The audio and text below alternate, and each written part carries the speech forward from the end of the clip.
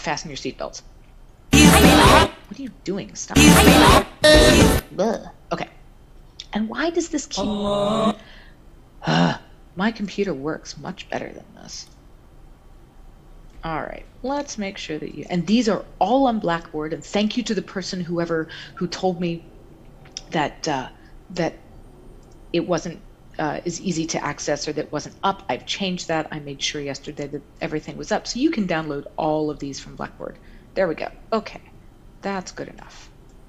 So now slideshow, play from current slide. There we go, voila.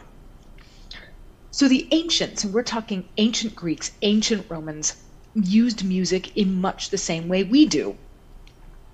And music was all monophonic, one line, one voice, one instrument for a long, long, long, long time. Um, the Greeks, the ancient Greeks, believed that music had divine origin and was created and performed by gods and demigods and then given to humans. Apollo, the sun god, played the lyre, which is an early harp, while Dionysus, who's the god of wine and being drunk and celebration, played a sort of flute and reveled in drama and the theater. And just like today, music was used in weddings and funerals and was even believed to have supernatural powers like healing. And today, I think we can all get behind the idea that music can be a balm to the soul. It can make us feel better.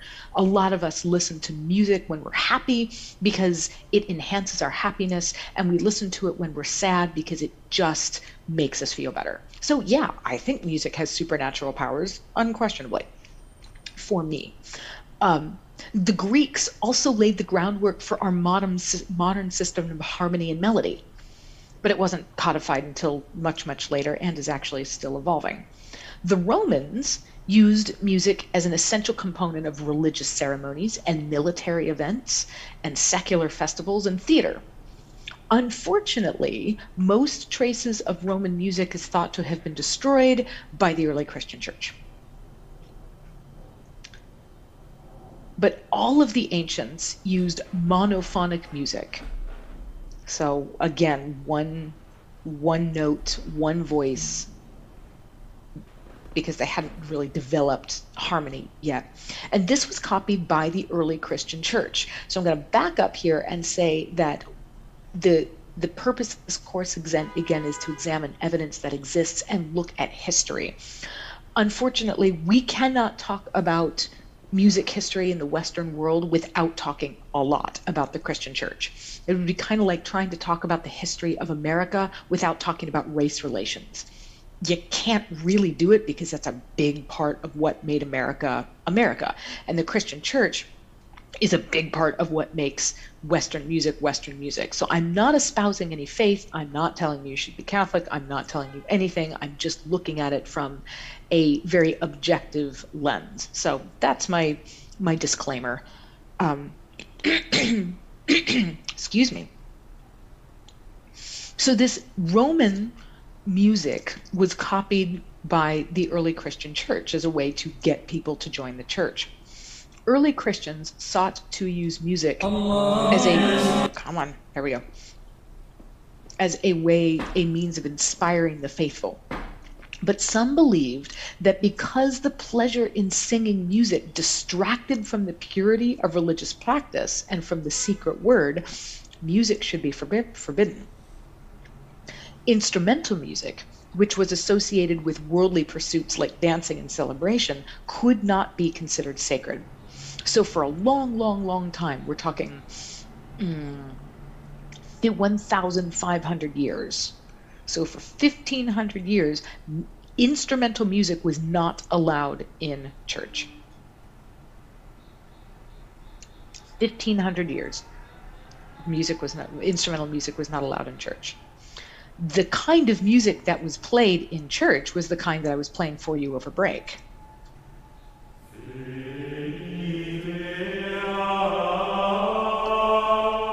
And Jordan mentioned that that he could meditate to this. And yeah, this is pretty meditative, and that's kind of the point. It's supposed to be a prayer.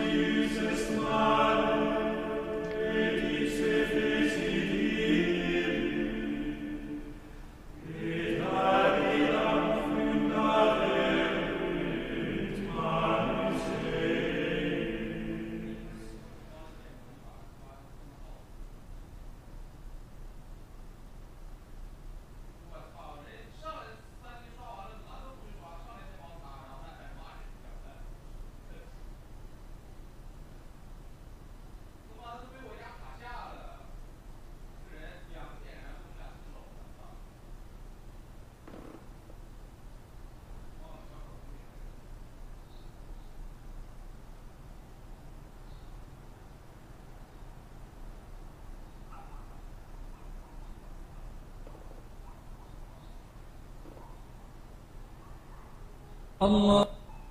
الله.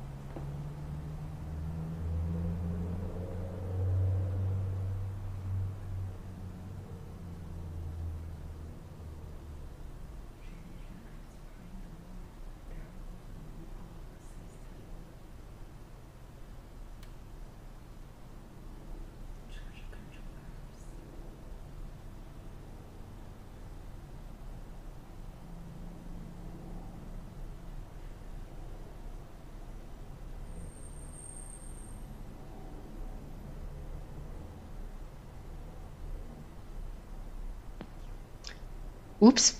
Thank you for uh, telling me that. Could you? okay, yeah. So I just did that whole thing. Uh, I just gave you a whole bunch of words of wisdom and answers for your final exam, and you couldn't hear me. That's terrible. You can hear me now, I'm assuming. Okay.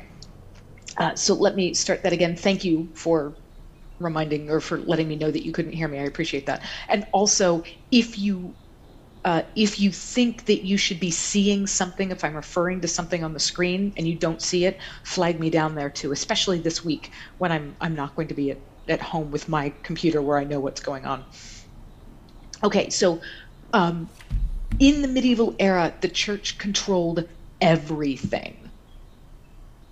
And this is one of the tropes. This is, and I said, listen to this, pay attention to this, perk up your ears. This is going to be one of your essay questions on your midterm and or your final. So I'm giving you final exam answers already on day two.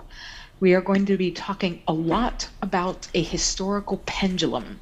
And I'm not talking about the pendulum like a grandfather clock. I'm talking about a pendulum in society that goes back and forth from emotions to science. From emotions to science. This great big society history pendulum. So the church controlled everything. And in the medieval era, we were on the emotional side of the pendulum. We'll talk a lot more about this as we go through. Religion explained the world. There was no other system. There was no there wasn't science in the way we knew uh, we knew as science.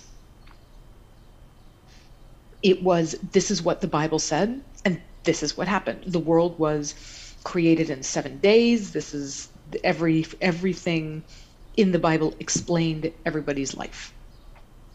And the Gregorian chant was the chant that was used in the church. Simple, conjunct melodies, very easy to meditate to, as, as somebody said a little bit earlier the words were very easy to understand because it didn't get in the way of the religious message. One note, one line, unison with everybody singing the same thing or solo. Now, did, did you hear my whole spiel about instrumental music in the church before you couldn't hear me? Okay. Great. All right, then I, I don't have to do that again. That's good. So, sacred music is music from a religion, any religion. Doesn't matter what religion, not just Christian, Jewish, Buddhist, Hindu, whatever. Most of the music that we have from this medieval era is sacred. This is why only the rich and the clergy had the money and education to write things down. Only about 2 or 3% of the people could read only two or three percent of the people could read their own language, let alone music. so most of the stuff was passed down the way we learned our first songs. None of us, I would be willing to bet large amounts of money, that none of us learned our ABCs by reading them. We learned the ABCs by having our parents go A, B, C, D, E, F, G, and we went A, B, C, D, E, F, G, and that's how we learned them. We learned to count by rote. We learned all of our things that we knew by the time we were five by listening and rote. We didn't read them. But if we never learned to read, which most people didn't in the medieval era, we'd know everything by rote. So all of the songs that we would know, we would know from the way people sang them to us. Our moms, our grandmothers, we would teach our kids and our grandkids and our great grandkids all those same songs.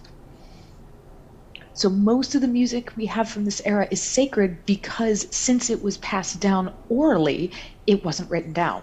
And those pieces were forgotten long, long ago. So we just don't have them. We have a little bit of music that isn't sacred, but not much. Because only the rich and the clergy had the money and education to write stuff down. Paper was expensive and ink was expensive.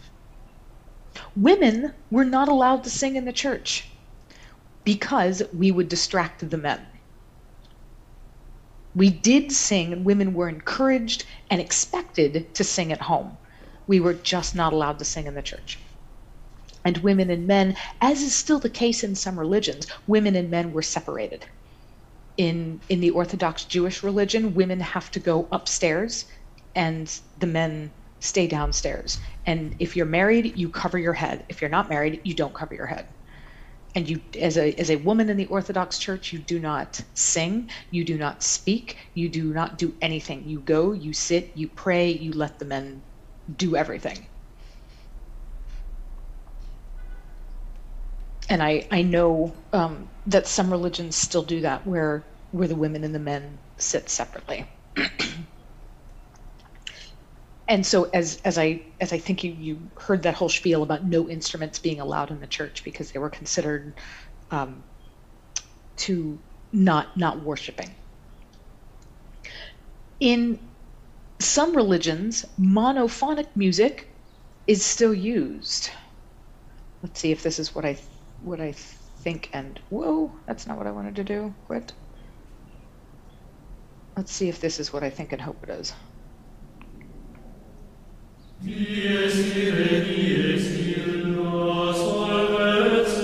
So this is monophonic church music.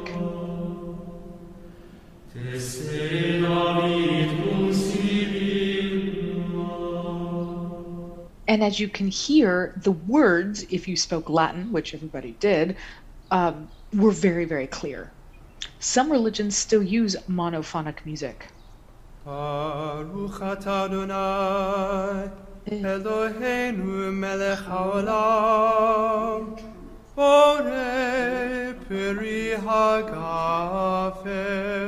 That is an opening Shabbat on Jewish on Friday night. That is one of the first prayers that is used to greet to greet the holy day, to greet the, the Shabbat, the Saturday. Allah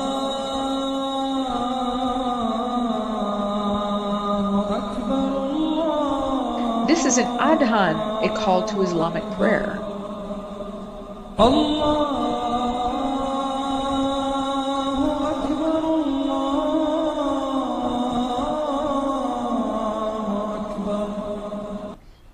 And very meditative, very, very pretty, in my humble opinion. Um, all a cappella, no instruments, and all monophonic, one line, one person, or one group of people. So this is the Middle Ages where the church controlled everything. It was on the emotional side of the pendulum. No women were allowed to sing in church. Okay. Move this over here, move this over here, and come down to here. There we go. The church built huge churches huge structures to show off, to show religion. and to make sure that everybody knew who was in charge. Look how big this thing is. This is Notre Dame in Strasbourg, France. It was begun in 1015 and completed in 1439. Look how big it is. You can see people, full grown adults, down here. This place is huge. Now, for us in 2023, where we have the technology and the buildings, and, and Lord knows we live in New York City, we've seen skyscrapers. But imagine how big this is to people who this is the only building they saw that was larger than a floor, maybe two. They all lived in shacks. This is this is huge. This is unbelievable. This would be like us going to the moon for a Sunday morning worship.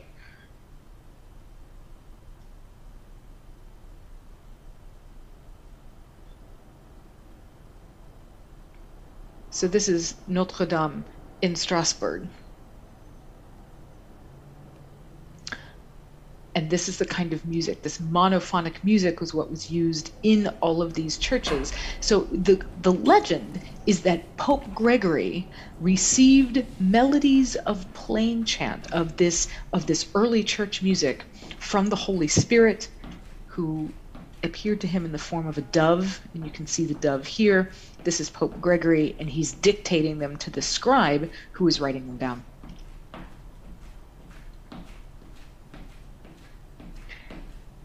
This monophonic chant, one, pia- one finger on the piano, one note at a time, was used exclusively until about the 10th century. And a reminder that the 10th century is the years 900 it's 2023, but we are in the 21st century.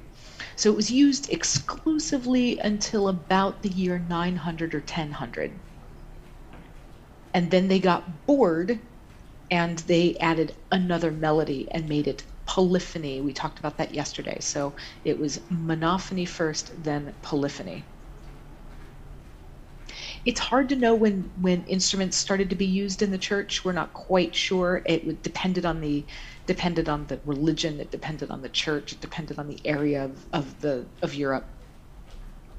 And most of the time scribes only wrote text on one line. So when and by what other lines were played rather than sung, we're not quite sure because it could have been sung, it could have been played. We don't really know. But it wasn't, at least it was not until the the 1300s, so 1,300 years or 400, 1,400 years or so of just singing in the church. So, as I showed you, churches and cathedrals were important sacred structures, and it reflected testimonies toward the divine power and of the church itself. And I mean capital C because it's the the organization, the, the essentially the Catholic organization. And it also created musical performance spaces, which they did every single day because they're large and they have great acoustic qualities. And churches are reflected to or built to instruct the faithful. For example, when you look into a church and you walk into a church, what's the first thing you often see? What's the first thing that that attracts your attention? Okay, Jesus, where? where is he? What is what is he doing? And there are lots of different answers to this, depending on the church you walk into, depending on okay, and he's on the cross. Is he on the cross on the floor? The altar at the front. Yes, he's often Jesus is often on the crucifix on the altar in the front. And is that altar lower or higher than we are? He's above you. He's higher good.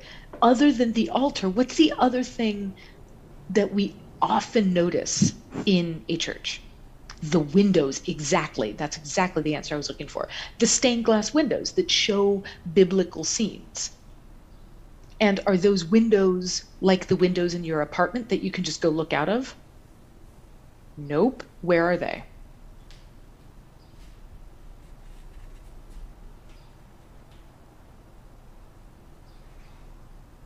Are they higher or lower than normal apartment windows? They're way higher. Yeah. Yeah, right. Of course, we don't, not too many of us have stained glass uh, windows in our New York apartments. Although I very much like the idea. Um, so the first thing, the first place you look when you go into a church is almost always up. Whether you're looking at the crucifix on the altar or whether you're gazing up at the windows and looking at the colors of the windows, you're looking up almost all the time. What direction is heaven? What direction is God?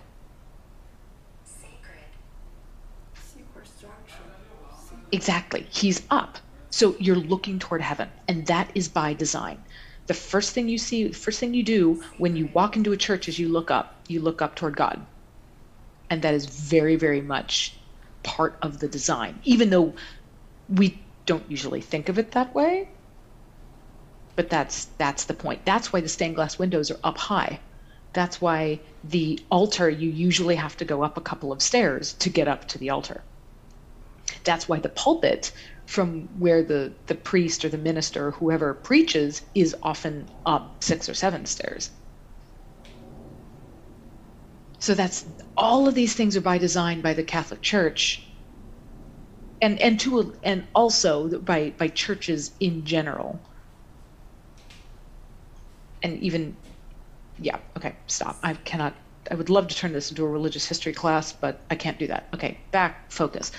Uh, so, Mass was the most important liturgy of the nine attended by some people every day. And it is a reenactment of the Last Supper, where you go and you listen to Bible readings, and then there's a homily where the priest interprets or helps to explain those biblical readings. And then you take communion, which is the body and blood of Christ, and you, you eat and drink some of that, and then everybody goes home and a reminder that no women sang in church and that all of the music and most of the, the liturgy in general was in Latin. And there are some things that everybody knew in Latin, but most people, especially the lower 95% of us who are not in that top 5% where we can read and write and study, uh, didn't speak Latin fluently. So they were going into church listening to this entire hour of of sermons and biblical readings and everything else in a language that we didn't really understand. Okay. Okay. Um, I'm going to play you just a little bit. Well, I, I did. I played you a little bit of medieval music, but now I'm going to play you a little bit of medieval secular music just so you can hear it. Medieval secular music. Here we go. Not the ad. Do. Mm.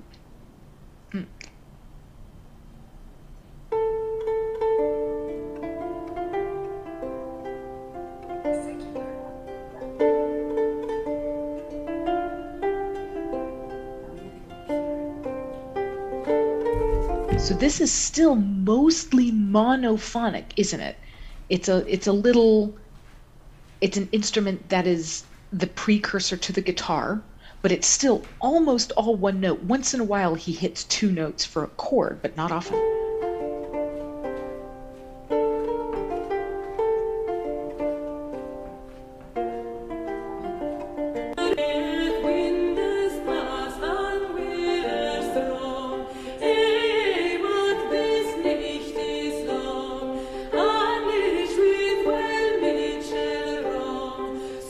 Those are women singing, aren't they? And that was because this is not sacred music. So women were allowed to sing in the home, they were not allowed to sing in church. So just a hint to, to remind you that we do indeed have secular music from the, the medieval era. That's all you need to know about the medieval era. We're not going to spend a lot of time on it. Um, just the the pendulum was on the emotional side. Women were not allowed to sing in church. The church controlled everything. Not many people uh, knew how to read and write. So the vast majority of music we have is sacred. The renaissance is at least a little bit closer to the things we know and how we where we are really going to start looking at music the pendulum that we've talked about swings to science. So it swings from the emotional, everybody's concentrated on God and the afterlife, to science. And Renaissance is the French word for rebirth. If you speak Spanish, you hear renacer in there, or in Italian, renascere and what was being reborn? What was being reborn is a a recovery or renewal of of a renewed interest in the greek and roman antiquity. And what we now know is the humanities. If we were meeting if this class were in person we'd be on the qcc campus in the humanities building. And what are the humanities? It's the it's arts and science and philosophy in literature. It's the stuff that we like to have around, but we don't biologically need art to survive. We do not biologically need music to survive. I would not want to live life without art or music or science or, or books. And I'm I'm going to guess, especially since you're in a music class, that you wouldn't want to either. But we don't biologically need it. So the humanities is this rediscovery of how can we make life better? How can we make life better on Wednesday, May 31st at 11 a.m.? Well, let's let's have music. Let's have art. Let's have science. Let's figure out why all of these people die and let's try to make it better. So we they they poked their heads out from under the medieval era where they were just like, okay, the church is all we need and we're just going to pay attention to the church. And they said, well, wait a minute. How do we make our earthly lives better? Just because we're going to spend eternity not alive doesn't mean we can't make our life better. And this is the time of Christopher Columbus, of Vasco da Gama, of the Teenage Mutant Ninja Turtles. And I bring that up because they were all named, of course, after um, uh, Renaissance artists, and you may you may know them as Leonardo, Donatello, Raphael, and Michelangelo. Exactly, they were famous painters. So since I couldn't exactly write Michelangelo de Lodovico Buonarroti Simone on the slide, I just abbreviated it so this is so this is the music the music that we're going to be talking about for the rest of the day today and a large part of tomorrow this is the music that they were listening to. This is the, the music that christopher columbus was singing on his way over to the new world. Vasco da gama who did actually make it to europe in 1498 and magellan who circumnavigated the globe uh, proved the world was round from 1519 to 1522 this is the music they were listening to.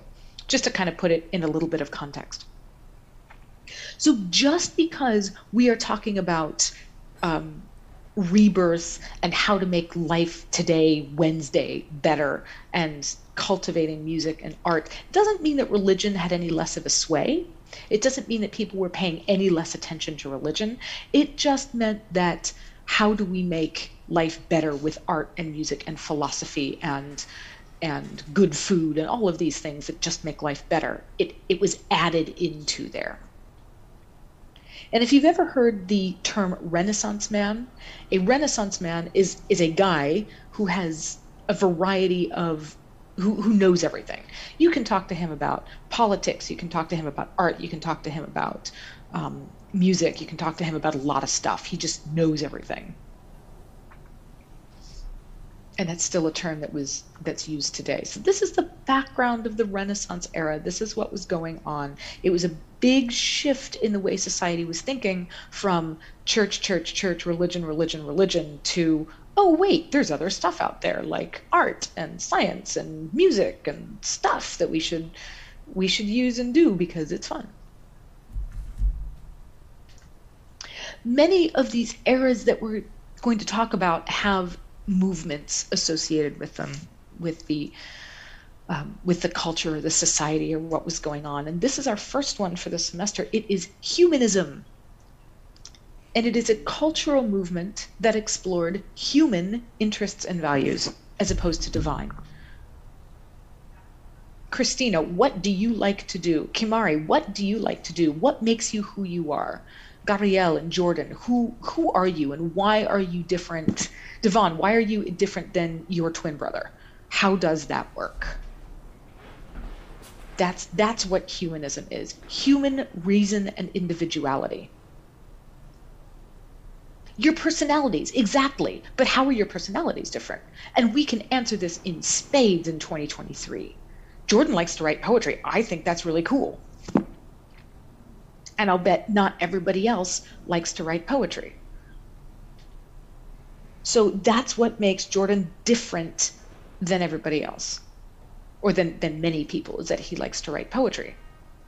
That's what makes us individual.